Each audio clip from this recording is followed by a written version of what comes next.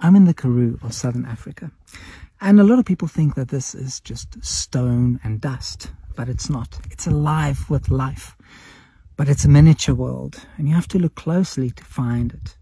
And they're camouflaged. And here's a very good example of that. This is Crassula columnaris. And if we look closer at the plant, you'll see that the leaves are tightly packed. The plant is close to the ground, squat to the ground. Now, there's a few reasons why the leaves are so tightly packed. First, it reduces water loss during the heat of summer. But secondly, it creates this very odd shape, not very plant-like.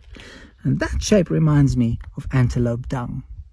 And that's not very appetizing. So if a herbivore would walk past here, it would rather go for the scrumptious daisy behind me for its breakfast than this crassula, which it probably won't even see. Now, here's a little baby next door, and it's surrounded by animal dung, dusty dung, lichen, stone, and sand, and the coloring and texture is all exactly the same, and it's completely camouflaged and hidden. Now these crassulas also flowers now in spring and they shoot out these cones of white flowers at the top. Now, the one sad thing is that after they flower, which is heavily scented and usually pollinated by moths, they die.